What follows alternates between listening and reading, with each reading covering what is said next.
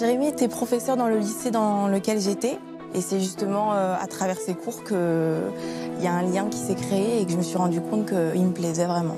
Avec mes parents, ma famille euh, ou même les amis, euh, ça se passait très mal. J'ai dû fuguer avec Jérémy pour faire en sorte que notre histoire soit acceptée. Donc j'avais tout enlevé, j'avais tout coupé, j'avais cassé ma carte SIM, j'avais rien du tout pour pouvoir être tracée. On peut parler de cavale pour vous deux? Vous êtes partis en cavale Oui, à partir du moment où vous avez les, les services de police qui d'abord vous suivent, vous mettre sur écoute, euh, scrutent vos réseaux sociaux, votre compte bancaire, etc. Moi, j'ai toujours voulu être enseignant. Arriver à me dire, tu, tu risques de tout gâcher, tout arrêter, c'est que vraiment c'est fort et c'est sincère. Vous aviez flashé déjà sur ce garçon qui était dans le même immeuble que vous. Oui, oui, il était français. Il est venu donc euh, à Alger. J'avais 17 ans, lui, il avait 21 ans. Et là-bas, c'est la prison. Lui, il est rentré euh, parce qu'il est rentré pour faire son service militaire à Marseille. J'ai tout fait pour venir le, joindre. Je ne voyais plus mes parents, pas de coup de fil, rien. Mais ils vous ont pas manqué, vos parents? Dans le fond, oui, mais je pouvais rien faire. L'amour, elle a emporté.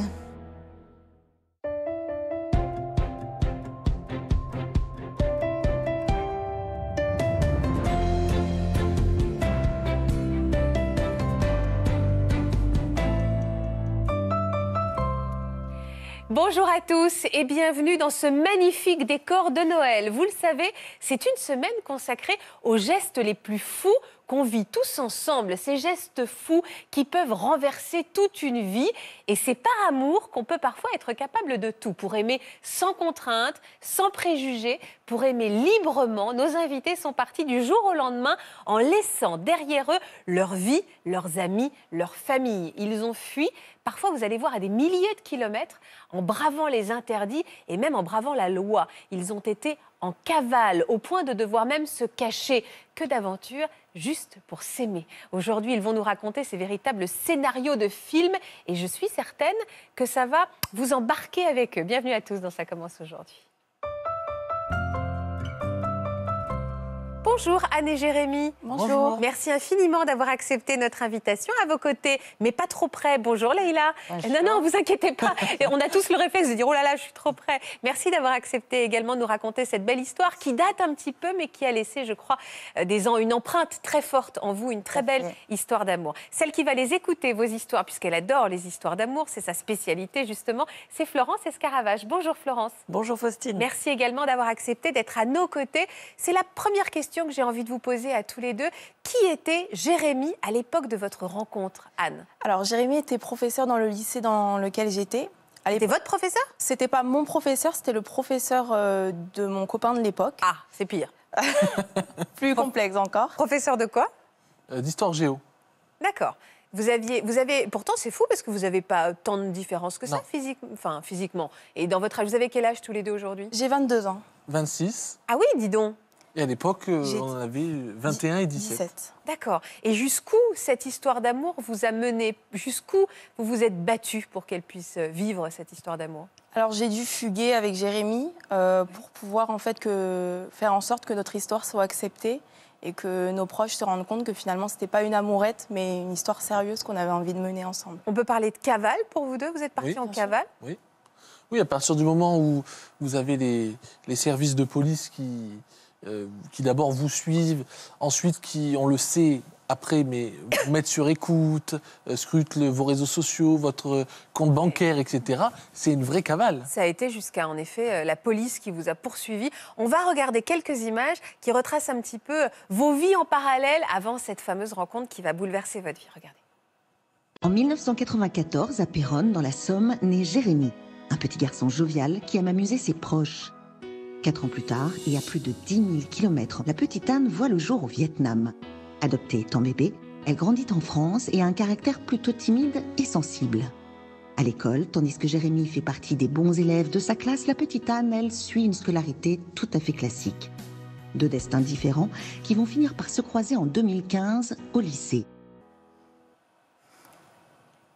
Vous l'aviez repéré, ce professeur? Je l'avais repéré et il faut dire que c'était euh, un peu le professeur du lycée euh, que les élèves appréciaient beaucoup et avec lesquels ils avaient une, certaine, ils avaient une certaine proximité. Donc euh, c'est vrai que j'en entendais parler, je l'avais bien repéré aussi. Il, a- il était apprécié parce qu'il avait aussi, il était très jeune, Il était jeune, parce qu'il était un peu beau gosse. et puis il avait un certain bagou euh, qui faisait que ça plaisait aux élèves et qu'il y avait une certaine, un certain lien spécial qui était créé entre euh, les élèves et Jérémy. Mais il n'y avait pas de rapport de séduction. Vous n'aviez pas entendu des jeunes femmes à l'époque qui disaient Oh là là, moi, il me plaît bien, j'aimerais bien lui plaire. Non, Il y avait un- vraiment un rapport hiérarchique, en tout cas, exactement. de, de, de prof à élève. Exactement. À quel moment les choses vont, vont basculer? Déjà, avant que vous m'expliquiez, est-ce que vous, vous l'aviez repéré? Non, pas Non? du tout. Non, non. Euh, Anne, c'est c'est une élève comme euh, tous les élèves du lycée. Il n'y avait aucune, euh, aucune ambiguïté, aucune, euh, aucun repérage, rien du tout. Ouais. C'est- une élève. Vous aviez quelqu'un dans votre vie, vous, à l'époque? Non. Célibataire. Oui. Et vous, vous aviez quelqu'un dans votre vie? J'étais en couple avec justement euh, le garçon qu'il avait en tant que professeur euh, d'histoire géo. Ça faisait combien de temps que vous étiez avec ce garçon? Un an et demi, Ouais, C'était une histoire sérieuse, parce que vous aviez 17 ans. Donc un an et demi à 17 ans, c'est une vraie histoire d'amour. hein. une vraie histoire. Bon. qui se- Alors, à quel moment vos chemins se sont croisés tous les deux? Alors, euh, mon copain en question s'entendait très bien justement avec Jérémy. Ah. Donc, euh, il avait souhaité me le présenter. Et par la suite, euh, dans le lycée, était organisé un concours qui s'appelait Danse avec ton prof. Mais Euh, c'est quoi ce concours? J'ai jamais. Vous avez fait un concours Non, danse jamais, j'aurais adoré. Oui. Et on embrasse tous les anciens professeurs de Florence. Un danse avec ton prof, c'est rigolo comme Danse idée. avec ton prof. Et j'avais voulu en fait essayer. Donc, je m'étais inscrite. euh, Mais on en- avait le droit de choisir le prof avec Non. lequel on Non, dansait ça devait se faire par tirage au sort. Et euh, les élèves inscrits étaient tirés au sort euh, pour savoir avec quel prof ils allaient être. Donc vous, vous êtes inscrite? Je me suis inscrite. et la vie est bien faite. Et le hasard a fait que je suis tombée avec Jérémy. Moi, je dis pas que c'est du hasard. Moi, je dis que c'est un Le destin. destin. Le destin. Ouais. Donc vous découvrez que vous allez devoir danser avec lui. Quel genre de danse? C'était une danse de la danse latine. Donc euh, c'était assez, euh, euh, on était assez proches. Mais elle est super votre école, dis donc. Ouais. Vous allez voir. Bah ouais, parce que danse latine, c'est. euh, c'est- J'allais dire c'est Ricky Martin, mais je ne sais pas si cette référence rajeunit vraiment mon image. Pardon. Mais c'est frotti-frotta, quoi. C'est caliente, quoi. Ouais, c'est ça. ça, assez proche. Mais alors, on s'entraîne avant Ouais. Le jour J?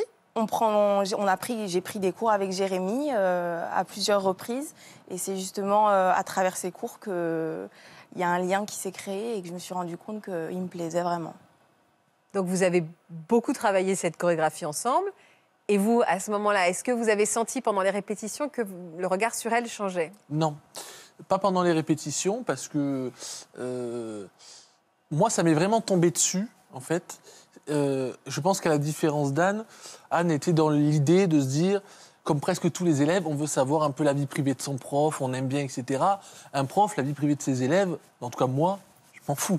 Ouais. Euh, donc, euh, c'est à ce moment-là, non, je suis, j'allais dire, encore professionnel dans le sens où on fait euh, euh, les entraînements, etc. Et je me dis pas que ça peut aller plus loin. Oui, sauf que vous échangez, pardon de vous interrompre, mais pour vous, vous échangez vos numéros quand même, parce que quand on répète, on, sort un peu du cadre scolaire, donc on s'envoie des petits messages pour rigoler, j'imagine des gifs, euh, des trucs comme ça pour s'amuser un peu, non? C'est vrai qu'au début, j'ai eu son numéro professionnel et on échangeait euh, que par le biais de son numéro professionnel, à la base que sur les cours de danse hein, précisément.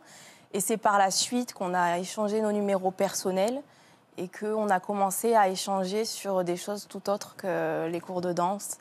Mais- plus, euh, Mais vous, pendant ces cours, alors j'ai bien compris que Jérémy, lui, restait euh, à sa place, il n'avait pas de, encore de chrouchrognouf pour vous, mais vous, pendant ces cours, vous avez ressenti quelque chose? J'étais extrêmement, oui, et j'étais extrêmement gênée puisque euh, je savais qu'il y avait quelque chose et du coup mon comportement, le, je pense que tu l'as ressenti quand même à Mm. travers mon comportement. Euh, J'osais pas être euh, vraiment euh, bah, naturelle parce que je savais justement que vous, vous étiez un peu godiche comme quelqu'un qui, Exact. Qui est séduite, quoi. exactement. Voilà, vous vous touchiez les cheveux, vous rigoliez très fort à ses blagues, et vous aimez bien quand vous vous entraînez euh, sur la musique latine. C'est ça. Qui va un peu passer à la vitesse supérieure euh, Qui a commencé un peu à, à- à parler, à sortir un peu, on va dire, des rails de votre rapport très, très clair? Ah, c'est vous, visiblement, parce que tout- les yeux se tournent vers vous, Jérémy. Bah, c'est- C'est-à-dire que euh, l'élément déclencheur, à l'issue de ces SMS, etc., c'est que euh, je me suis rendu compte qu'il y avait quelque chose qui venait euh, d'Anne vers moi. Ouais. Et je me suis dit, quelque part, je vais tester ça. Et donc, je lui ai posé une question. Je lui ai dit, quel aurait été, Par texto. ouais, quel aurait été ton euh, sentiment, ta réaction si j'avais dansé avec une autre fille? De l'établissement Mhm. si c'est- le tirage au sort n'avait pas fait les, les mêmes choses. Et elle a répondu quoi? Euh, Que ça m'aurait clairement pas plu. Ah, bah alors là, ça y est. voilà. Vous Mais c'est mettez très- les- Les choses étaient. C'est très osé quand même pour un professeur Ouais. d'oser poser cette question à son élève. raison. Oui, Bah, c'est c'est osé parce que dans la discussion juste avant ce moment, euh, moi, je commençais à me dire il y a des choses, j'allais dire illogiques, en tout cas, qui ne sont pas dans le fil normal des choses quand entre un prof et son élève. Et j'émettais de moins en moins de doutes sur le fait que elle, elle était accro, en tout cas à ce moment-là, et qu'il fallait. Voilà. Donc vous vous êtes pas mouillé parce qu'en gros vous lui avez tendu la perche pour que elle, elle se mouille. Oui. Mais après vous avez répondu quoi quand J'ai elle a répondu dit un cœur. Ah bon bah alors ça y est là c'était. Un- De quelle couleur le cœur? C'est très important la couleur rouge? Ah bon bah là ça y est, ça y est. Non, mais c'est marrant parce qu'on est vraiment dans un pays latin, parce qu'aux États-Unis, outre-Atlantique, ils, feraient, ils organiseraient jamais ce genre de- d'événement, Ouais, avec le harcèlement, etc. Non, en France, on est cool. Hein, parce que c'était pas il y a 20 ans non plus, c'était Ah euh, c'était il y a 5 ans. c'était il y a 5 ans. Moi j'adore cette histoire de danse avec mon prof. Ouais, non, c'est Très bon. amusant. Euh, alors bon alors là c'était dit, mais c'était pas vraiment dit, mais c'était écrit. C'était Il écrit. y a un truc quoi. Le petit copain, votre petit copain, il se doutait de quelque chose? Pas du tout. Ah oui. Il se doutait de rien et je pense qu'il était très loin d'imaginer euh, ce, qui, ce qui allait se passer par la suite. Après, euh, c'est vrai que Jérémy avait été très clair avec moi dès le début. Il m'avait bien dit que tant que je n'avais pas rompu avec lui, euh, il n'y aurait rien de, de concret entre nous et qu'il fallait que je fasse le nécessaire avant pour pouvoir engager quelque chose d'officiel. Ah, donc on est passé un cœur rouge à largue euh, ton petit ami euh, si tu veux qu'il se passe quelque chose entre nous. Bah, euh, oui. euh, c'est en fait, c'est-. À ce moment-là, moi, je, je- je sais qu'il peut se passer quelque chose de très fort, de très puissant entre nous, et qu'on va être confronté à énormément de barrières, dont, pour moi, la question professionnelle. Ça va forcément Oui, avoir des sûr. répercussions.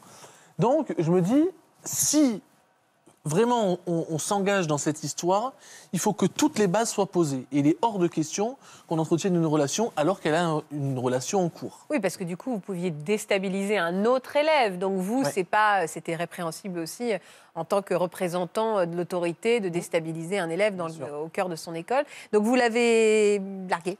Je l'ai largué, du coup, euh, sans lui donner de raison euh, particulière. Et euh, de- j'ai tout de suite prévenu Jérémy. Et à partir de là, on a pu euh, commencer l'histoire. Enfin, on a pu. Où ça? Comment? Pourquoi? Où ça? Alors, euh, Nous sommes le 2 janvier. Ah et 2016. euh, je vais pour la première fois chez Jérémy. Donc, euh, je vais le voir chez lui. Euh, Il s'est toujours rien passé avant. Hein? Rien passé. Et c'est là, du coup, qu'on s'échange notre premier bisou quand j'arrive. euh, Se souhaiter la bonne année. exactement. Et puis pour euh, voilà, pour euh, se dire bonjour. C'était pour se dire bonjour en fait que. C'était naturel ou vous avez mesuré, pardon, vous avez eu un peu le vertige de tout ce que ça pouvait, euh, on va dire, euh, impliquer pour vous, pour la vie de famille, à l'école, tout ça? Vous avez mesuré à ce moment-là? Pas du tout. C'est En fait, en plus, c'est allé très vite. Tout est allé très vite. Donc, c'est vrai qu'avec l'adrénaline de l'histoire et, et de la chose, j'étais vraiment, euh, enfin moi personnellement, j'étais vraiment euh, dans mon truc et je pensais pas du tout aux conséquences que ça pouvait avoir ou que ça pourrait avoir euh, sur ma vie et puis sur la vie de mon, mon entourage après. Moi, je savais que, ce que cela allait produire professionnellement dans ma vie, mais j'étais loin d'imaginer Jusqu'à quel point, euh, jusqu'à quel point. euh, Est-ce qu'il a eu un petit goût d'interdit, pardon Florence? Est-ce qu'il a eu un petit goût d'interdit ce baiser? Non, pas pour moi. Moi non plus. Pas, j'ai- pas ressenti, euh, j'ai pas ressenti ça quand je l'ai embrassé pour la première fois. Moi, je dirais même le contraire. C'est un soulagement. de, de délivrance, soulagement. Ça Ça y est, est, on en a parlé, et là, voilà. On peut vivre les On peut- choses. Ça y est. Moi, je voulais savoir, ce qui, non, ce qui vous gênait, c'était le caractère professionnel. Et est-ce que c'était aussi le fait qu'elle soit mineure? Quel, quel était le. Qu'est-ce qui, est-ce qu'il y avait quelque chose déjà à l'époque qui vous faisait peur? Alors, le caractère euh, par rapport le fait qu'elle soit mineure, non, parce que euh, elle avait 17 ans et demi, restait 6 mois avant qu'elle soit majeure, donc j'étais pas dans, euh, dans, dans cette crainte-là. Et, et puis, pour recontextualiser, il faut, bon, moi j'étais enseignant, donc j'avais quand même un vrai statut, mais je n'avais que 21 ans. C'est-à-dire qu'on avait 4 ans d'écart. Et c'est vrai, quand on a 17 et 21, ça peut choquer ou surprendre, alors que 4 ans dans la vie, finalement, c'est rien. Donc, euh, je- non, je pense pas qu'il y a eu ce. je- en tout cas, je ne l'ai pas ressenti comme ça. Donc, c'était plutôt le corps professoral et l'image? Ça. de, enfin l'interdit, parce qu'en fait, quelles sont les règles on- on- Peut-être que Faustine les connaît, mais moi je les connais pas. Quelles sont, les, quelles sont les règles vis-à-vis des élèves en tant que, Oui. vous voyez, quelle est la ligne de Est-ce qu'il conduite y a une charte morale comme quoi vous vous engagez à pas avoir de relations euh, Ah ben- extra-scolaires euh, avec vous les élèves? Ah oui, oui, c'est c'est- c'est clairement interdit. Euh, Qu'elle était mineure, voilà. ne serait-ce que ça. Voilà. hein. Et c'est interdit du fait que euh, je suis une personne d'autorité vis-à-vis d'elle, ouais, même si je ne suis pas son prof direct, puisque nous, moi, je l'avais- j'avais un en cours sur des ateliers de grec ancien, donc euh, pas, voilà, mais même- ne serait-ce que ça, le fait d'être enseignant dans le Bien lycée, sûr. qu'elle soit élève, j'ai, voilà, il y a une question d'autorité, et donc c'est interdit. Je précise encore une fois que vous aviez que 4-5 ans euh, de Ouais. différence d'âge, parce qu'en effet, elle était mineure, mais voilà, juste pour qu'on remette les choses un petit peu dans le cadre. Vous avez eu peur d'en parler, vous, à votre entourage, à vos parents euh? Mes parents, oui, parce que c'est vrai que mes parents sont plutôt traditionnels à ce niveau-là. C'est-à-dire que déjà, avoir un petit copain avant 18 ans, euh, c'était pas. Ah oui, et donc ils savaient même pas que vous aviez quelqu'un avant? Alors, ils savaient que j'étais avec Sébastien, puisque l'histoire euh, avec lui a fait qu'ils ont été au courant assez rapidement. Mais euh, ils ne savaient pas du tout, avant que j'en parle à mon père et que par la suite on soit convoqué, que j'étais en train de vivre tout ça avec Jérémy. Parce que c'est à votre père à qui vous en avez parlé pour la première fois? Pour la première fois, c'était à mon père euh, dans la voiture, puisque euh, euh, j'ai été convoquée en fait par la directrice avec mon père quand. Mais alors attendez, il se passe combien de temps avant que vous soyez euh, euh, piégé, on va dire démasqué 15 jours? Donc pendant 15 jours, vous allez vivre quoi? En vous cachant? En nous cachant. Donc de façon clandestine? Oui. Avec quand même des petits bisous volés dans le lycée ou pas? Et oui, euh, devant la salle des profs, un matin. Euh, C'est pas a- un peu provoque ça? On a pris le Il risque. faut vivre jusqu'au bout, donc euh, oui, bon, c'est arrivé une fois, ça. Mais pas devant les autres profs Non. Non, on a fait ça euh, rapidement, discrètement. Et sinon, on se retrouvait de temps en temps dans la salle justement de danse où on s'entraînait. euh, Il a bon dos ce, ce concours de danse. Hein? Il avait bon dos. pratique. Hein? Mais c'est marrant ce que dit Jérémy, il dit faut vivre jusqu'au bout. Donc il y a quand même quelque chose de l'ordre un peu excitant dans, voilà, dans la fronde contre, la, voilà, contre le, le- le- voilà, le- le- ce qui se fait ou ce qui se fait pas. Je, je cherche mes mots. Bah oui, parce que l'un un des ingrédients de l'amour, c'est quand même l'obstacle. Là, vous en aviez quelques-uns. Ouais. Parce que vous voyez, quand, quand il n'y a aucun obstacle, quand la valeur est moins forte, en fait. Ça solidifie un couple de se construire immédiatement face à un obstacle, Florence? Mais en fait, ça augmente la valeur euh, accordée à l'autre, de- d'avoir l'impression de, de se dépasser, de, de franchir les obstacles pour la conquérir, pour vivre son amour. On est, on est souvent attiré par la différence, par, euh, par voilà, que- quelqu'un qui va euh, nous amener à, à- à- à ex- à nous extraire de, de quelque chose de, facile. de sa zone de confort. Mmh. Mais est-ce qu'il y a un peu aussi. euh, est-ce que c'est pas. Pardon, hein, vous avez élevé ma, ma question, mais est-ce qu'il n'y a pas aussi quelque chose d'excitant, même dans sa libido? Je vous sors de cette histoire, mais néanmoins, est-ce que non, mais est-ce qu'il n'y a pas quelque chose d'excitant à ce que ça soit interdit, ne serait-ce que ça? Oui, je pense que c'est excitant, mais c'est surtout euh, challenging. Et c'est ce que je dis souvent euh, hein, aux personnes qui viennent me voir, c'est que on accorde la valeur à l'autre en fonction de l'effort porté pour le conquérir et pour vivre son amour. Donc, euh, à partir du moment où on est euh, voilà, tout offert, tout OK, euh, sans, euh, sans, sans même se connaître, en fait, eh bien, euh, c'est pas drôle. Et puis, euh, et puis on n'est pas dans, dans la disposition de l'amour, parce que euh, faut relire Alberoni, la disposition de l'amour, c'est de la difficulté, des obstacles franchis. euh, voilà, ça, on a besoin d'un contexte différent de ce que l'on vit tous les jours. Euh, donc 15 jours de relations clandestines où on se cache et on fait des petits bisous par-ci par-là.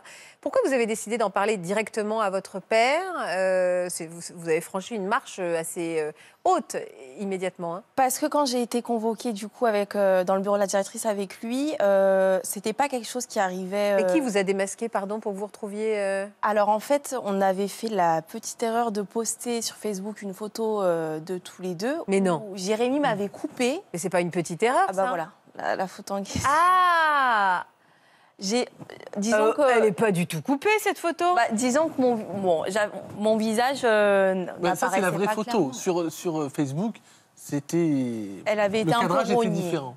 Et on vous a reconnu. Et on m'a reconnue. Mais c'est un acte. Enfin, vous vouliez être démasqué quand on poste ce Je genre de pense photos. que- Vous aviez envie que ça se sache, en fait. Je pense qu'inconsciemment, Oui. on avait envie que ça se sache pour qu'on puisse euh, vivre la chose euh, plus sereinement aussi.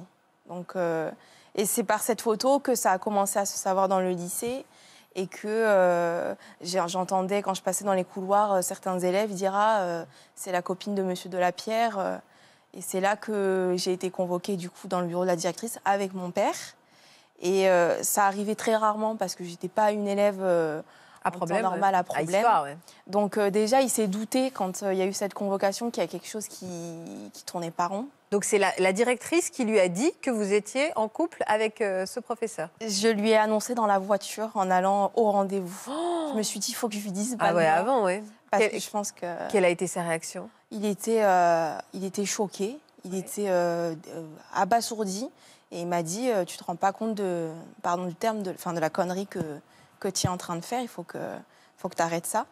Et, euh, et du coup, quand la directrice lui a annoncé, étant donné que j'en avais déjà parlé, euh, il est tombé d'un peu moins haut, mais il a quand même pris son parti à elle. Et alors, vous vous êtes fait disputer, en fait, ce jour-là. Et on vous a quoi euh, euh, Voilà, on vous a demandé de rompre expressément? Alors, Oui, oui c'est la, la directrice à l'époque, euh, et ben, je pense, encore une fois, sans, sans, sans me vanter, mais j'étais un, un- un enseignant pivot dans l'établissement. Donc, euh, elle ne souhaitait pas me voir partir pour plusieurs raisons. Donc, elle m'avait dit Moi, si vous voulez, euh, j'étouffe l'affaire, mais il faut, faut- faut terminer, quoi, c'est fini. Il ne faut plus la voir, quoi. Il ne faut voilà, plus voir Anne. Ouais. Terminé. Donc, on Et vous avez refusé? On a laissé planer le doute devant elle sur le moment et on a continué. Elle l'a su. Elle a convoqué le mercredi, euh, du coup, Anne et son père. Et moi, le vendredi, euh, j'ai fait une heure de cours et à 9h, elle m'a dit euh, Vous êtes mis à pied. Ah ouais? Bon, c'était une mesure conservatoire parce que ce n'était pas une mesure disciplinaire, mais une mesure, voilà, une mesure conservatoire pour euh, l'établissement. Et avec le recul, je pense que c'est une bonne mesure parce que ça se savait et je continuais à avoir cours, notamment avec son ex-copain. Qui vous regardait d'un œil euh, Bah, agressif? Non, mais je pense que c'est pas c'est pas serein, c'est pas donc c'est c'est une mesure qu'on n'a pas sur le fait forcément bien pris, mais avec le recul, euh, voilà, Vous ne deviez pas être très à l'aise face à ce jeune homme, non? C'est Non. compliqué de donner cours à un jeune homme, vous savez que vous venez pas de lui piquer sa copine, mais un peu quand même. Ouais, c'est très compliqué. Ah ouais Et d'autant plus que euh, c'est un, c'est un garçon qui, avait une, qui a une histoire compliquée. Et j'ai été là pour lui à ce moment-là. Euh, donc j'étais un peu un, un- un prof référent, un prof un de référent, confiance. euh, ouais, c'est ça. Donc, vous euh, trahissiez un peu sa confiance. En tout cas, il a pu le vivre comme ça. Il vous Ouais. a pas affronté? Il n'est pas venu vous voir directement en disant c'est quoi cette histoire Si, il a essayé, mais euh, Vous avez coupé court. voilà, on a coupé court. Vous avez coupé court. Et, et Jérémy, le fait de sortir avec Anne à l'époque, donc vous mettez ça sur le compte de, de votre jeunesse, de votre fougue, ou alors parce que l'amour était tellement fort que, que vous n'avez pas eu le- l'envie ou le courage d'attendre un petit peu Non, c'est le fait que l'amour soit tellement fort parce que je me souviens qu'à ce moment-là, je me suis fait la réflexion à savoir que euh, moi, j'ai toujours voulu être enseignant. Pour moi, c'était mon ambition. Et au moment où je le suis, arriver à me dire tu, tu risques de tout gâcher, tout arrêter, c'est que vraiment c'est fort et c'est que c'est sincère.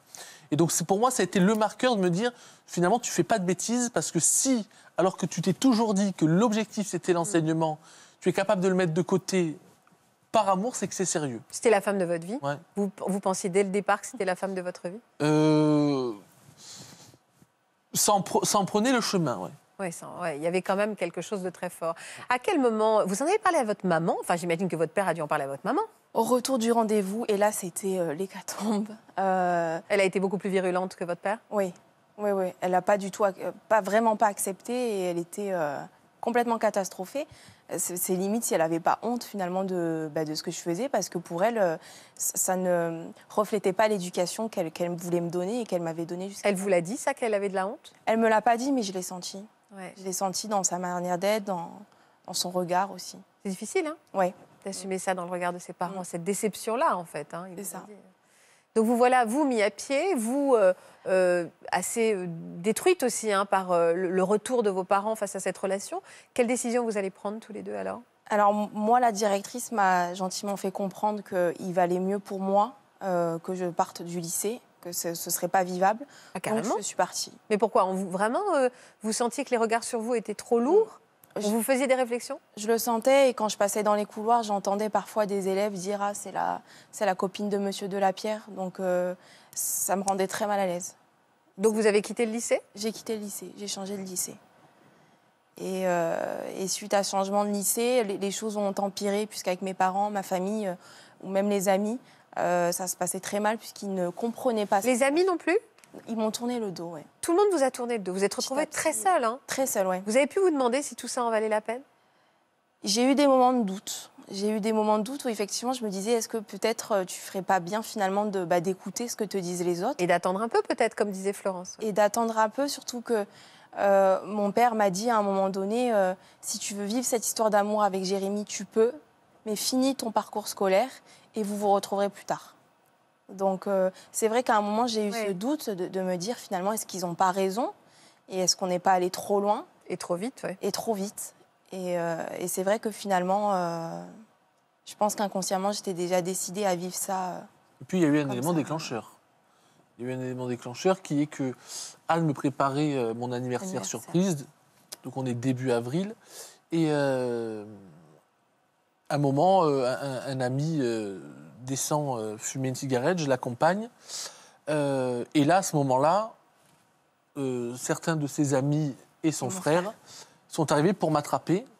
Bon, ils voulaient en finir avec moi, hein, on va dire les choses. Ah, pour, euh, vous clairement. casser la figure. ah oui, ouais. clairement. Euh, au point que, euh, je- voyant ça, je me suis réfugié dans le hall directement. Ah, vous avez eu peur. Hein Il y en a un qui a passé son poing à travers la vitre, et donc vitre dans le bras, hôpital, Oh là etc., là là là. chirurgie, bon, voilà. Et euh, donc, moi, face à ça, je, je- je- donc, euh, les parents de Anne viennent récupérer Anne, bon, etc. Et je me dis, euh, je suis mis à pied, ici c'est trop dangereux, je redescends à Nîmes, donc d'où je venais, donc je suis redescendu. Et Anne me dit quelques jours plus tard, effectivement, c'est trop compliqué. Je suis dans le train. Elle me prévient, je suis dans le train. Je, je te rejoins, j'arrive. Et ça, c'est le point de départ de la Vous étiez heureux qu'elle vienne vous rejoindre Ah bah oui. Vous vous êtes dit, oui, mais elle avait 17 ans, quoi. Oui, mais euh, heureux parce que pendant tout ce laps de temps, on a essayé énormément de choses pour que la situation euh, à s'apaise, soit acceptée, etc. Et ça n'a pas fonctionné. Et on savait que à ce moment-là, quand elle m'a dit je suis dans le train, j'arrive, j'ai compris qu'on n'avait plus d'autre choix. On avait épuisé toutes les cartes. Mais c'était une fugue ou vous l'avez dit à vos parents que vous partiez le rejoindre J'ai laissé une lettre. Je les ai même pas, je leur ai même pas dit oralement euh, je m'en vais ou quoi que ce soit. J'ai laissé une lettre sur la table de mon salon. Mais en disant où vous alliez? Non, j'ai rien dit. Vous avez juste dit quoi alors dans cette lettre? Je m'en vais parce que je supporte plus euh, les relations qu'on a euh, en ce moment. Ah, vous leur avez pas dit je pars pour Jérémy, vous avez dit je pars parce que je ne supporte plus l'ambiance à la maison. Voilà, et que je ne supporte pas que vous ne- n'acceptiez pas mon histoire d'amour. Je leur avais dit. Ils ont dû Et- prendre ça comme un caprice d'ado. euh, Oui. Mais ils ont dû être terrorisés euh, de ne pas savoir où vous étiez. Bah, c'est vrai qu'avec du recul aujourd'hui, oui. Et puis même, on en a parlé après. Ils, ils ont eu très peur. Et surtout que j'ai pas donné de nouvelles ensuite. euh, Mais ils n'ont pas appelé mois. Jérémy tout de suite pour dire Si. on sait que. Et vous, vous n'avez pas dit qu'elle était là? Non. C'était pas la meilleure idée, ça ou? Ben, je ne leur ai pas dit parce que euh, déjà Anne m'avait dit on le dit pas. Oui, je comprends. Et deuxièmement, parce que à ce moment-là, j'avais pas envie, entre guillemets, de leur faire un cadeau, de faire un pas en avant, au vu de tous les pas en avant qu'on avait fait avant, Oui, c'est ça. qui se sont retrouvés porte fermée, jusqu'au fait qu'ils viennent euh, euh, vouloir me, me casser la figure. Donc, à partir de ce moment-là, on se dit, nous, on a tenté, des pas en avant, pas. ça n'a pas marché. Ben, on va patienter les quelques mois jusqu'à ses 18 ans. Et à 18 ans, on refera coucou en disant, vous pouvez plus rien maintenant.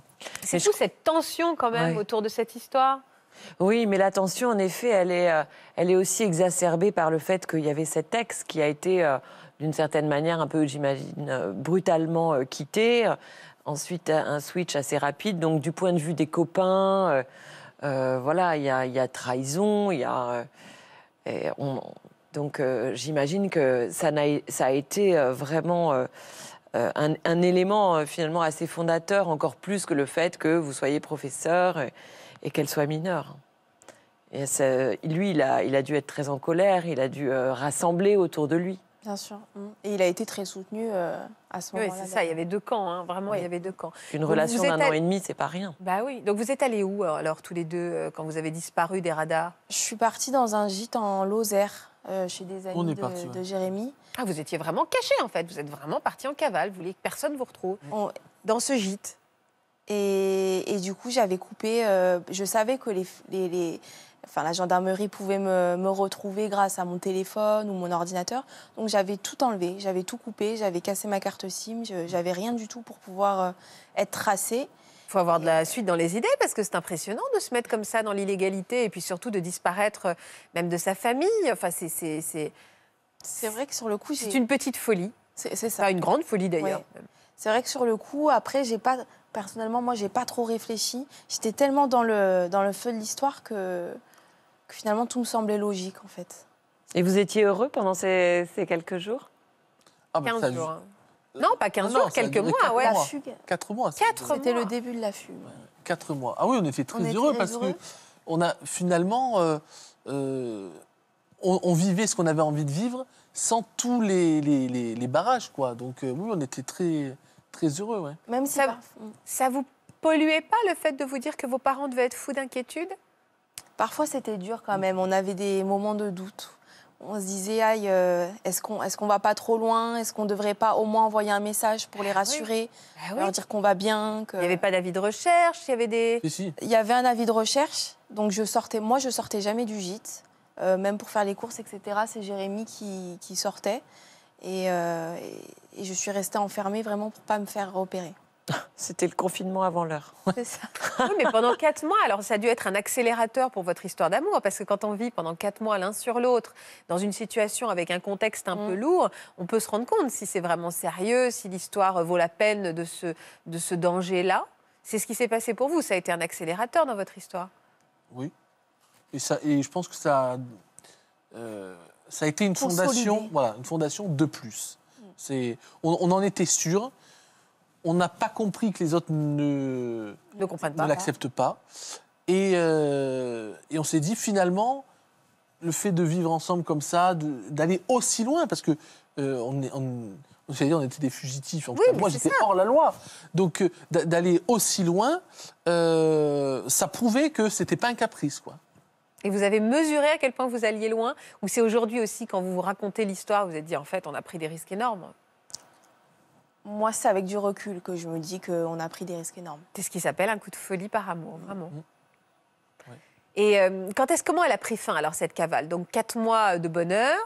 Quatre mois de bonheur, et en fait, nous, notre objectif, c'était d'attendre le jour de mes 18 ans Ouais. pour que légalement, je puisse dire euh, je suis majeure, donc je fais ce que je veux. Si je veux vivre avec Jérémy, euh, c'est mon droit.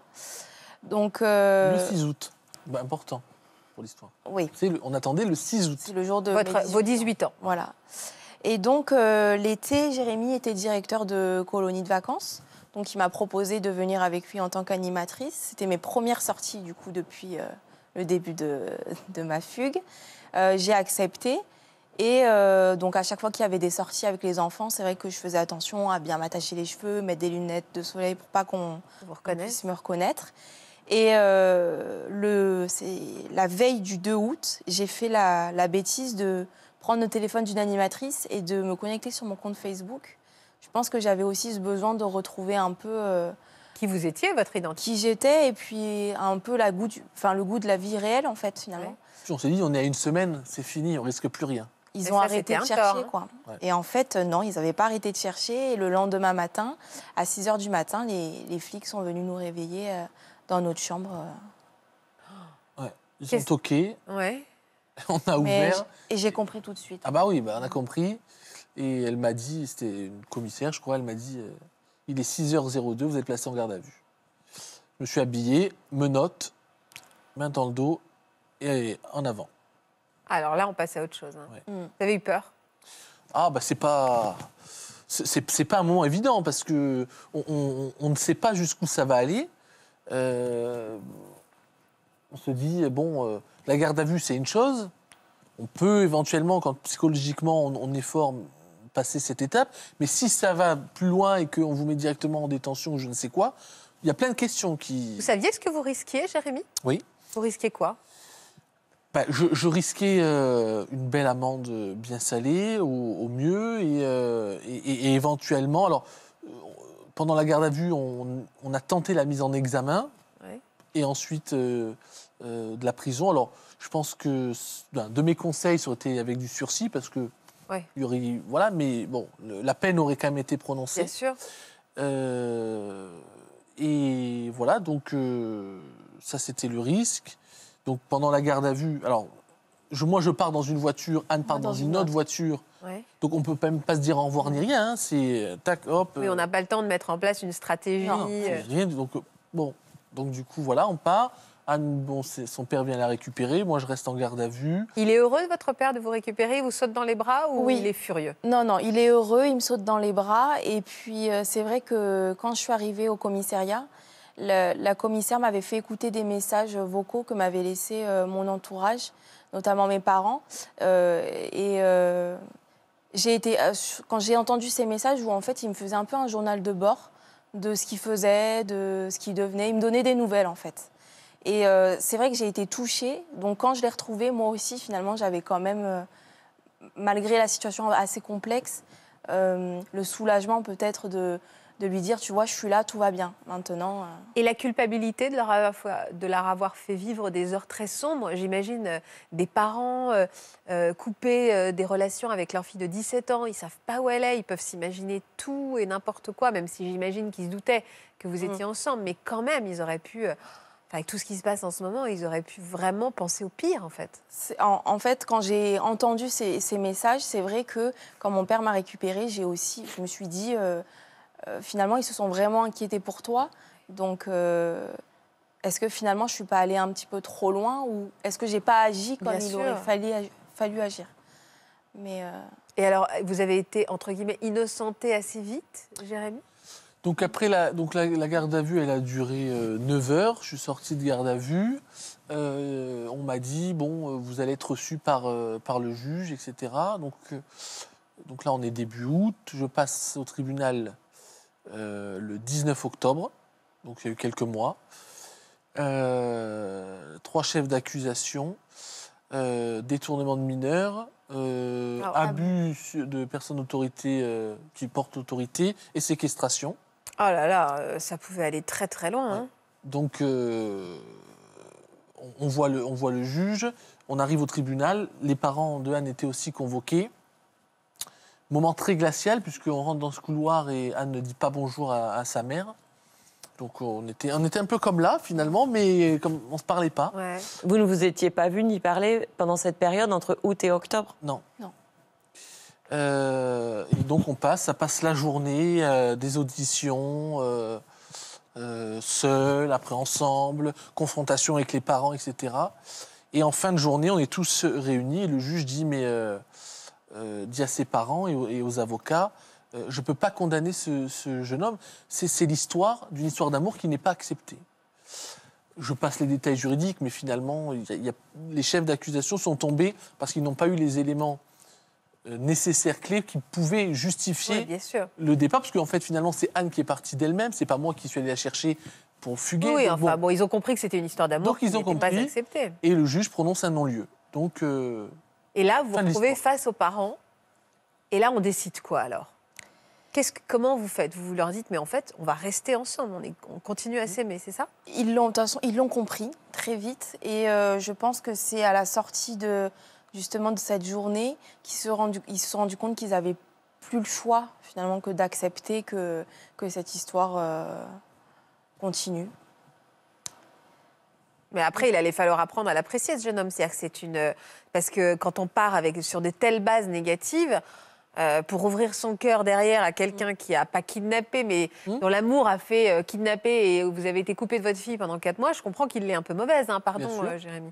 Alors, qu'est-ce qui s'est passé après? Euh, par la suite, il y a eu euh, bah, l'étape de Noël en décembre où mes parents me proposent de venir euh, faire Noël avec eux et avec mes frères et sœurs. Euh, et je leur réponds à ce moment-là que je suis d'accord de venir à condition que Jérémy euh, puisse m'accompagner aussi, puisque je considérais que qui disait moi disait nous.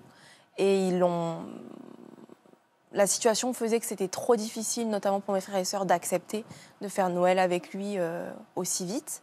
Donc on est allé faire Noël avec mes parents, mais deux jours après la date, le jour J, pour que mes frères et sœurs aient eu le temps de fêter Noël avec eux et de repartir. Quel, vous imaginez les sacrifices, vous deviez en avoir gros sur le cœur hein, quand même à ce moment-là. J'étais quand même en colère aussi à ce moment-là, de, de voir que avec tout ce qu'il y avait eu, etc., Quoi que vous fassiez, ils acceptaient ils pas. acceptaient toujours. Ou ils ne comprenaient pas qu'il Ouais. s'agissait d'une histoire d'amour euh, Ouais. pérenne. Et, Qu'est-ce qui a apaisé les choses? Qu'est-ce qui a fini par apaiser les choses alors?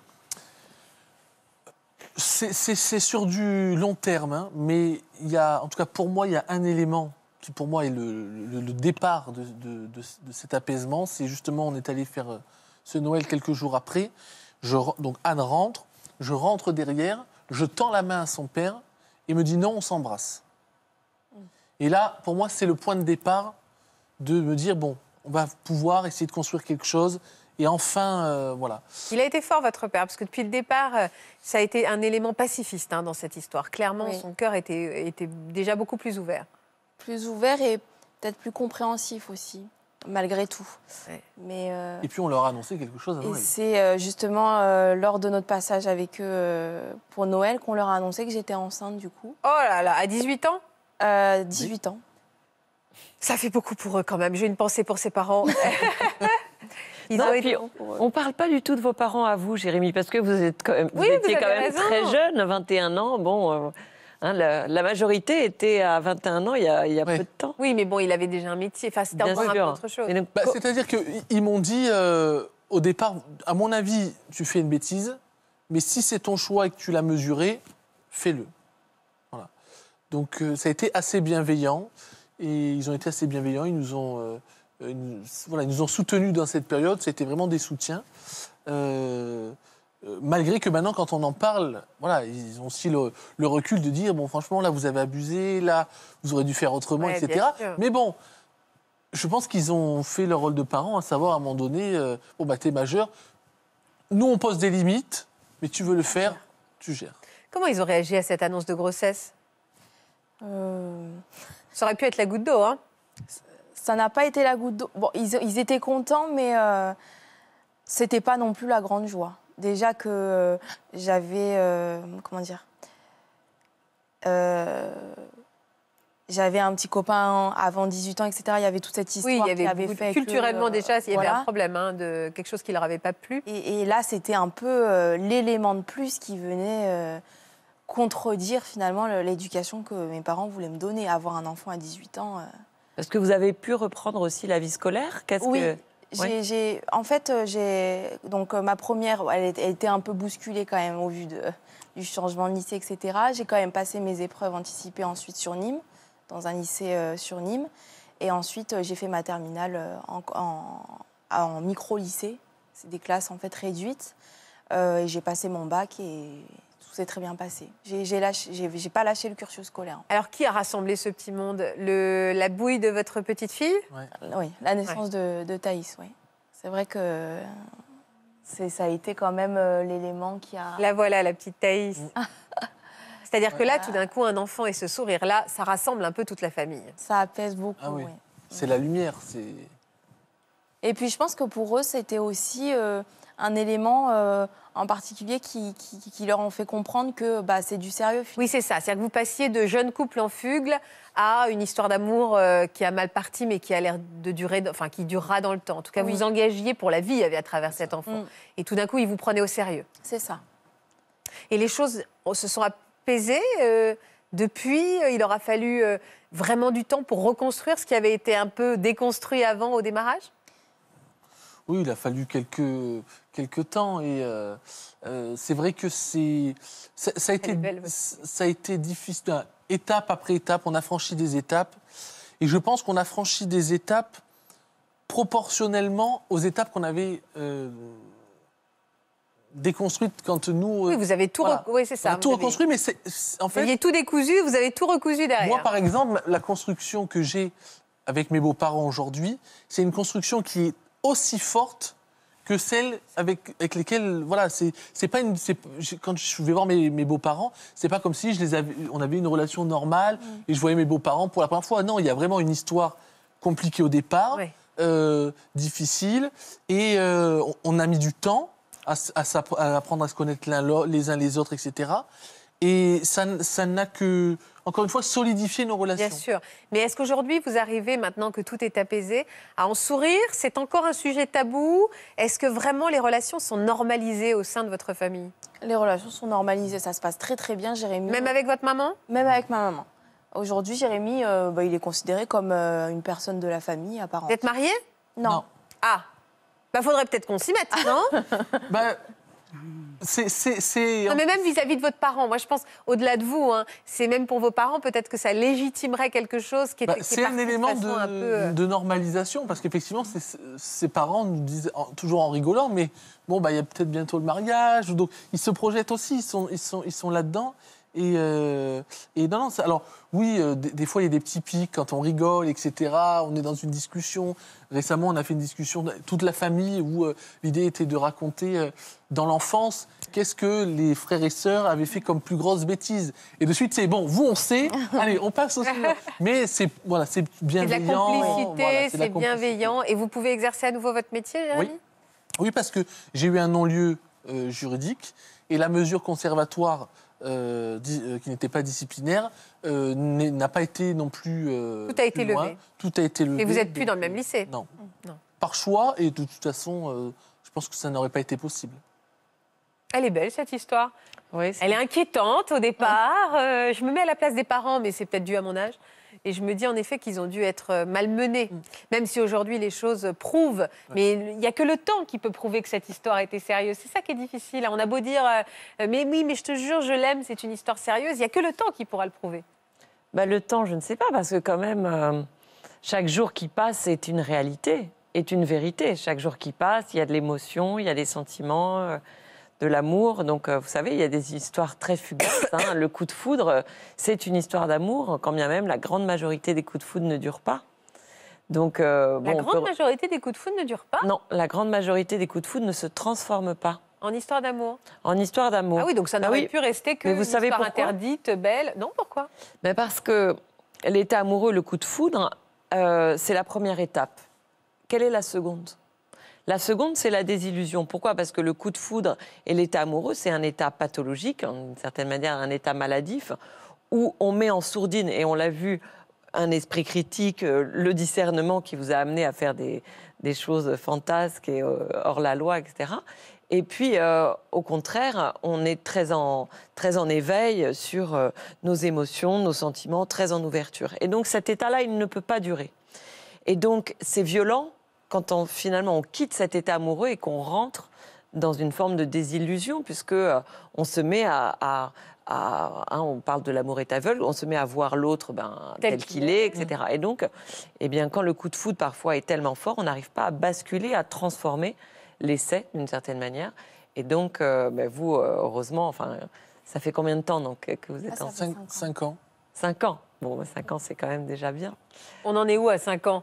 On, est, on a déjà eu la désillusion Ah, on a déjà eu la désillusion quand même. Et puis euh, le, confinement que vous avez vécu avant l'heure, euh, euh, se, Ah oui. se oui, frotter ainsi au caractère sans sortir, sans aucun apport extérieur. Parce que vous disiez que vous sortiez pas sûr. du gîte, c'est c'est énorme. Si c'était à refaire, vous referiez exactement pareil, maintenant que vous avez un peu vieilli tous les deux? Je peut-être qu'il y a des choses que je que je ferais autrement, mais euh, si c'était à refaire, je, je le referais, mais peut-être pas euh, exactement euh, de la même manière. Oui, c'est vrai que euh, on, on l'a fait.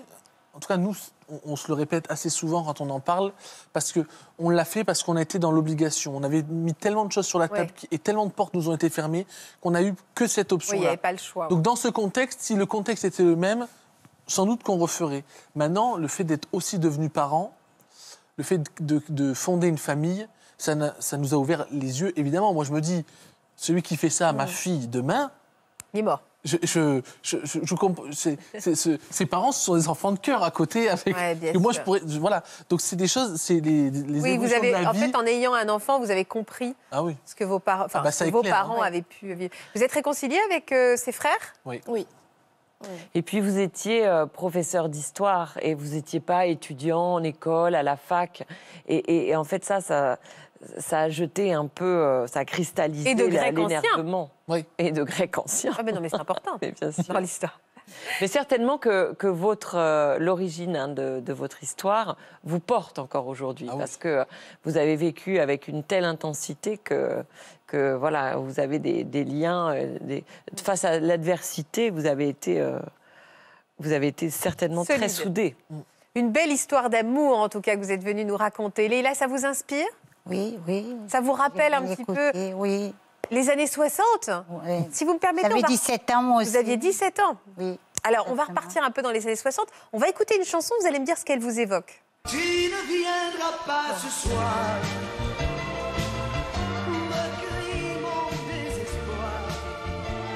Vous reconnaissez.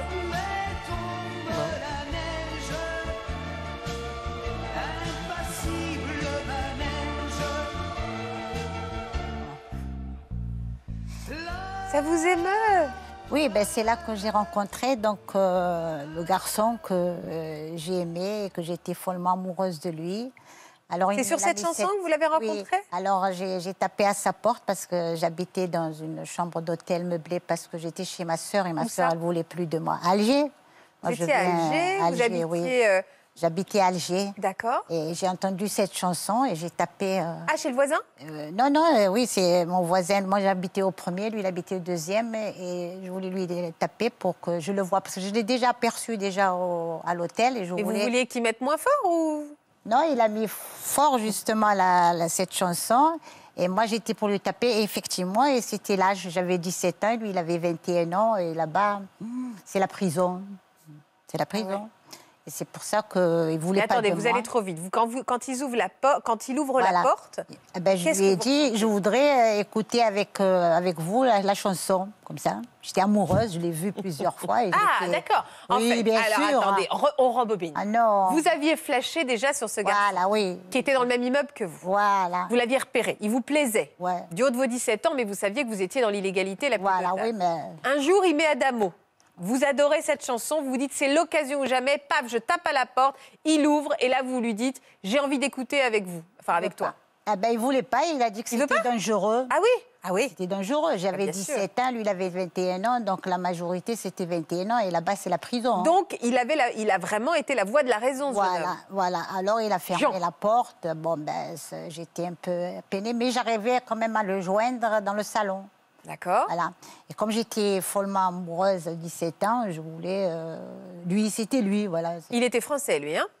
Oui, oui, il était français. Il est venu donc euh, à Alger euh, de passage. Et comme lui, il est retourné après euh, l'avoir connu et tout. Et après, mes parents, bon, ben, ils m'ont interdit tout, tout, tout, tout, tout.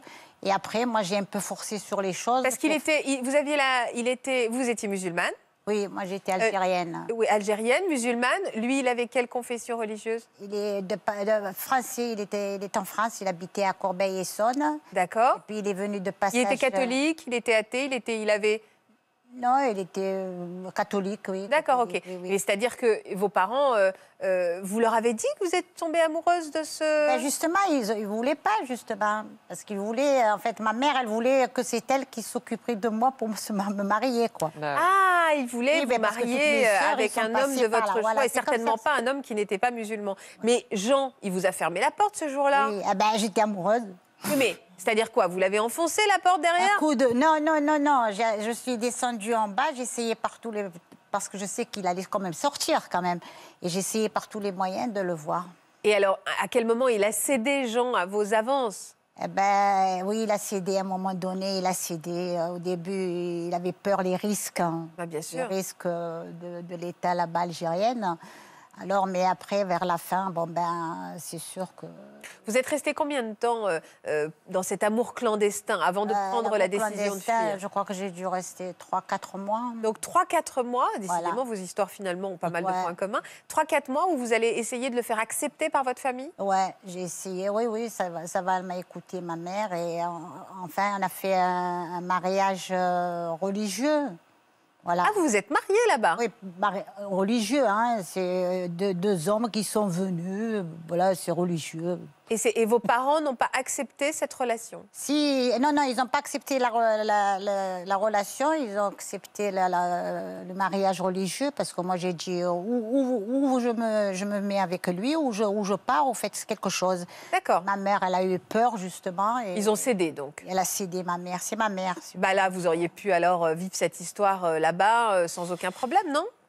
Ah ben oui, là c'est sûr que l'Algérie à l'époque c'était difficile. C'est pour ça que moi depuis, euh, je suis allée juste au décès de ma mère. Ça fait 50 ans que j'ai pas mis mes pieds. J'ai mes frères, mes sœurs Mais pourquoi avoir décidé de partir alors si vos parents avaient fini par accepter Oui, mais si vos parents avaient fini par accepter Jean, avaient fini par accepter votre pseudo mariage religieux, qu'est-ce qui a fait que vous avez dû fuir ce pays? Ben moi j'étais amoureuse du, du garçon. Voilà, Parce que lui, il a dû rentrer. euh, Parce que lui, il a dû rentrer en France? Oui, lui il est rentré. Voilà. Ah bah voilà l'information oui, que je savais lui, pas. il est rentré euh, parce qu'il est rentré pour faire son service militaire à Marseille. Ah bah Et voilà. moi, j'ai tout fait pour venir le, le joindre, puisque de toute manière, j'étais enceinte d'un mois, deux mois, ça ne se voyait pas. Donc. Et je suis revenue euh, le joindre ici à, à Marseille. Donc lui, il est parti. Vous, vous étiez enceinte et vous n'avez pas supporté d'être séparée de votre Voilà, amoureux. j'étais- ouais, ouais, Et vous avez ça. prévenu vos parents que vous allez le rejoindre? Non, une fois que je suis arrivée en France, j'ai téléphoné à ma mère. Mais vous aviez quoi 18 ans à cette époque-là? Oui, je lui ai dit voilà, je suis en France et ça, elle n'a pas admis, mais tant pis. Et vous, êtes, vous lui avez dit, maman, je suis enceinte, je suis en Non, France. non, je ne dis pas que j'étais enceinte, je dis je suis en France. Je n'ai pas dit que j'étais enceinte. Et quelle a été sa réaction à votre mère? Ben, elle était peut-être elle était déçue. Hein. Et depuis, j'ai plus de nouvelles jusqu'au jour de son décès. Voyez Mais vous n'avez plus jamais une nouvelle de votre mère depuis votre non, juste départ? le décès, oui, le décès. Oui, oui, oui. C'est-à-dire que par amour, vous Oui. avez accepté Oui, de rompre totalement les relations avec vos, vos frères, vos sœurs, votre famille. Mais c'est extrêmement douloureux, ça, pour vous? Oui, oui, c'est ça. J'ai tout rompu. Je, je préfère ne pas passer. J'ai tout rompu. Mais ça a duré longtemps avec ce Jean? C'était vraiment l'homme de votre vie, Jean? Je, oh, je suis restée euh, 13 ans avec lui. Euh, Ah oui. J'étais très bien, euh, moi et lui. Et quand il y avait les enfants qui s'étaient nés, euh, malheureusement, euh, c'était pas bon. Donc ça s'est pas bien passé. Enfin, vous êtes Non. séparés comme un couple, euh, voilà, au bout Ouais, de votre histoire à séparé 13 ans. De la violence des enfants. Et pendant ces 13 années, vous n'avez jamais voulu faire accepter cette histoire euh, à vos parents, leur Non, non, reparler? j'ai- arrêté toute relation. J'ai arrêté tout, c'est fini. Je ne voyais plus mes parents, pas de coup de fil, rien. Mais ils vous ont pas manqué, vos parents? Dans le fond, oui, mais je pouvais rien faire. L'amour, elle a emporté. Mais alors, une fois que cette histoire d'amour s'est terminée, Leïla, vous n'avez pas voulu reprendre contact avec votre famille? Non, même pas. Jusqu'à aujourd'hui. Vous étiez trop fâchée? Ils n'ont pas voulu accepter, euh, tant pis pour eux. Et puis moi, maintenant, euh, la mentalité que j'ai euh, aujourd'hui, euh, ça ne peut pas y aller dans le pays. Donc aujourd'hui, vous avez, vous avez l'impression d'avoir sacrifié votre famille pour cet amour, pour cet homme? Oui, je- oui, beaucoup. Mais que je regrette hein, quand même. hein. J'étais- J'avais 17 ans, j'étais immature. hein. Mais alors aujourd'hui, vous avez des regrets de ce que vous avez fait? Oui, Ah oui? Oui, oui, oui. Le problème, c'est la précipitation. C'est vrai, euh, même ce, ce mariage pseudo-religieux, c'est que, étant donné le contexte, voilà, il y a des rites à respecter, des croyances euh, à observer, qui finalement amènent euh, malheureusement à ce que les choses se précipitent. Alors que finalement, euh, si c'était un, un tant soit peu euh, plus accepté, on, on pourrait donner l'espace-temps nécessaire pour voir, euh, voilà, si, euh, si on peut se- si on peut s'aimer, si on peut se. Mais c'est un, un énorme problème, euh, évidemment, tous ces tous ces mariages euh, qui Forcé, bien évidemment. Enfin, forcés, et puis Sur surtout de là-dessus. confessions différentes. hein. Évidemment. Mais est-ce que vous cherchiez, vous avez l'impression que vous êtes vraiment tombée amoureuse de Jean ou vous cherchiez aussi un prétexte pour quitter ce pays, quelque part? Il y avait en premier l'amour, il y avait beaucoup l'amour, euh, mais peut-être qu'il y avait peut-être quelque chose du pays, mais beaucoup d'amour par rapport au pays. Vous saviez, au, au moment où vous êtes partie, Leïla, vous aviez conscience des conséquences Non. euh, et que vous pourriez plus repartir, que vous alliez rompre les liens avec tout le monde? Non, non, j'avais pas de. Non, non, j'étais pas consciente. non. Donc c'est la folie, vous avez l'impression d'avoir fait un coup de folie voilà, ouais. à Oui, 17 Un coup ans. de folie, oui, oui, tout à fait. Et aujourd'hui, vous regrettez? Bon, ouais, beaucoup. J'ai eu même une souffrance à l'intérieur qui va rester de toute manière. hein. Quel est votre message aujourd'hui à travers votre présence Là, vous avez envie de dire quoi? euh, C'est difficile de, c'est difficile parce qu'au début, c'est vrai, quand on est jeune, effectivement, on ne connaît pas qu'est-ce que c'est euh, qu'est-ce qu'il va devenir. On ne connaît pas, on est euh, euh, dans un tourbillon. Alors voilà, alors maintenant, c'est vrai que je lance le message des jeunes qu'il faut faire attention parce que Oui, on peut se brûler les ailes. Vous vous souvenez de cette chanson de Mélodie? Il n'y a pas que les grands qui s'aiment. Ah, bien sûr. Non, mais en fait, cette chanson, euh, qui est... non, mais c'est anecdotique, mais je me, je me mets à la place de parents aujourd'hui qui voient euh, leur fille euh, de 17 ans, euh, qui est encore. alors aujourd'hui, euh, 17 ans, c'est une toute jeune femme, mais c'est quand même pas non plus encore une adulte. tomber follement amoureuse d'un homme, prêt à tout quitter, son professeur, une relation interdite, plus âgée, peu importe. Quelle est la bonne réaction en tant que parent? On voit dans, les- le- dans le cas de Leïla, ça, ça- ça- malheureusement, ça aboutit à une séparation euh, totale. On voit dans votre cas que ça a été tumultueux, il y a quand même eu des conflits très lourds. Comment savoir s'il faut prendre au sérieux cette relation, s'il faut au contraire attendre que jeunesse se passe ne pas, enfin, C'est compliqué pour des parents Ouais. de juger la, la réalité et l'intensité de cette histoire d'amour. Et on a- alors, ils auraient peut-être pu éviter finalement euh, Mais bien sûr. à, à- à Leïla ses regrets? Ben, en effet, il y a plusieurs éléments à prendre en compte. Je pense que déjà, c'est communiquer avec son enfant pour le comprendre, comprendre ce qu'il traverse. Ensuite, il y a une part de transmission d'éducation affective à faire de la part des, de, soit de l'école, soit des parents, soit des grands-mères, comme soit du rabbin, soit du prêtre. Enfin, on, on- on- on f- on faisait ces choses-là à une époque pour justement expliquer que l'amour, c'est une révolution qui, n- qui, qui va ou non se transformer. Et donc, euh, il faut savoir euh, transmettre ces choses-là pour que. Parce que la première cause de suicide, une des premières causes de suicide chez les ados, c'est la rupture amoureuse. C'est pour ça que je vous dis c'est compliqué pour des parents. hein. Voilà. Alors, donc, justement, le parent, il doit informer. Parce qu'il a le recul, il a la maturité, il doit informer de son enfant que ce qu'il vit, c'est beau. Donc, déjà, c'est accueillir ce qu'il est en train de vivre pour que l'enfant se sente père, hein. Puis ensuite, transmettre des éléments pour qu'il ait, cet enfant, toutes les informations pour comprendre que ce qu'il vit est absolument magique et, et très beau, mais a peut-être, euh, ne va peut-être pas durer, et que euh, quand on est amoureux, on perd un peu de, notre discernement, de notre capacité à faire le bien parfois pour soi. Voilà. Et ensuite, je pense qu'en tant que parent, il faut poser un cadre et, et ne pas euh, interdire. Parce que c'est vrai que quand on interdit, euh, l'enfant est capable de tout. L'enfant est capable de surpasser, de fuguer. De... Voilà. Donc poser un cadre pour euh, peut-être euh, se voir dans, une, dans un cadre qui, qui convient aux parents, même si c'est dur pour Ah l'enfant, oui, pour que finalement on donne cet espace-temps pour que les, les, les protagonistes amoureux et les parties prenantes puissent se voir et se connaître, Hmm. s'apprécier, plutôt que d'aller euh, voilà, tomber enceinte en, en, en quelque temps. Et... C'est- très vrai ce que vous dites et moi je le vraiment je, je l'entends même pour même pour moi-même en disant en effet il faut quoi qu'il arrive accueillir accueillir écouter comprendre si on condamne la relation on s'ouvre à tous les dangers derrière Oui, En parce que l'amour est plus fort. parce que l'amour est plus fort. Mm. Donc, en effet, que l'enfant fuit, que l'enfant euh, se fasse du mal, que les enfants, euh, vous puissiez couper entièrement les relations. Donc, quoi qu'il arrive, accueillir. Et après, en effet, cadrer les choses pour trouver un terrain d'entente, une négociation, en fait. C'est ça. Et ça, hein. transmettre.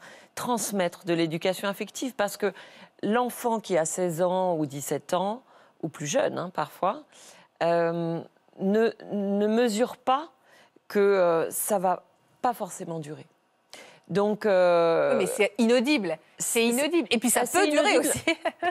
Moi, j'ai une enfant de, de 16 ans. Euh, si, si, c'est audible euh, quand on explique les choses, voilà, que la- quand on accueille la beauté de l'amour, la beauté de ce qu'ils sont en train de vivre. Mais que si c'est audible parce que quand même Ouais. on voit tout Oui, ils autour sont de au nous, monde, des- voient bien que. voilà, on voit tout autour de nous que l'amour est compliqué. Donc comprendre que c'est un phénomène magnifique hein, qui est en train de se passer et qu'ils vont le garder dans leur cœur toute leur vie, mais qu'il faut voilà se donner le temps de se connaître, de s'apprécier pour pas aller euh, voilà euh, franchir des aller trop vite, aller dans des extrêmes et donc ne pas rejeter cette relation. Je suis persuadée que ça va faire cogiter beaucoup de parents euh, qui nous regardent. Vos deux exemples, en tout cas, vous montrez. C'est ça, Léla. Exactement. Il faut d'abord se fréquenter, il faut plein de choses. En tout cas, cette émission est à revoir sur France.tv, comme toutes les émissions que je sais que vous êtes très nombreux à faire passer des messages à vos proches à travers ce qui se passe sur ce plateau. Faites-le, échangez-le, c'est important et c'est pour ça qu'on est là. Merci à tous les trois, en tout cas, d'avoir accepté de nous raconter vos belles histoires. Longue vie à vous, ensemble, vous l'avez bien mérité. Merci Florence, merci Leïla, merci à tous pour votre fidélité à France 2. On se retrouve demain à 13h50. Je vous embrasse. Vous aussi venez témoigner dans Ça commence aujourd'hui. Vous subissez des maltraitances de la part de votre enfant et vous vous sentez démuni face à cette violence. Vous avez été un parent maltraité et vous avez dû faire appel à la justice pour mettre un terme à la tyrannie de votre enfant. Pour une autre émission, vous avez découvert sur le tard que votre mère se prostituait. Si vous êtes concerné, laissez-nous vos coordonnées au 01 53 84 30 99 par mail ou sur le Facebook de l'émission.